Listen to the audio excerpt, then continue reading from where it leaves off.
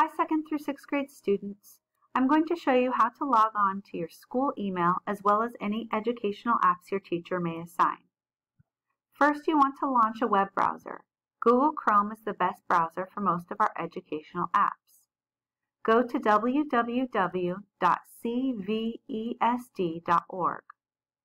On the Chula Vista Elementary School District homepage, scroll down and under Quick Links, click on the yellow Students button. On the Students page, click the red-orange Office 365 account sign in.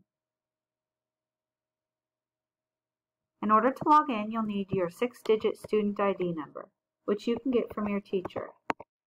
The first time you log in and at home, you'll need to include at live.cvesd.org.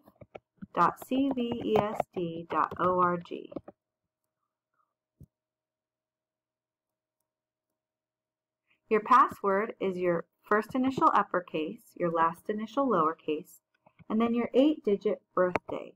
That's two numbers for the month you were born, two numbers for the day you were born, and four numbers for the year you were born.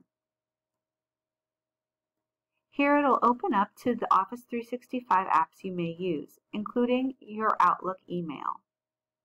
Click on All Apps and scroll down under Your School to find other apps your teacher may assign, such as Achieve 3000, Benchmark Universe, HMH Think Central, Imagine Learning, or Smarty Ants.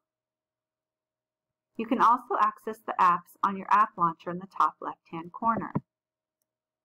Here you'll see the Office 365 apps and any apps you may have pinned to appear at the top.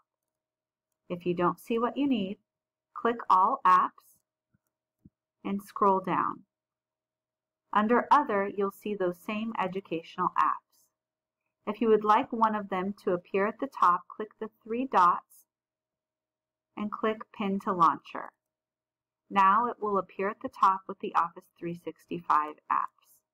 If you want to remove one, click the three dots again and unpin from Launcher.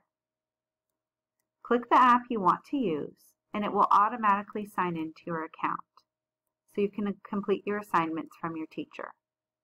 Please do not Google Achieve 3000, Edmodo, iReady, or any other app that you may need to use. You must sign in through the Chula Vista Elementary School District Single Sign-On Program. Please ask your teacher if you have any further questions.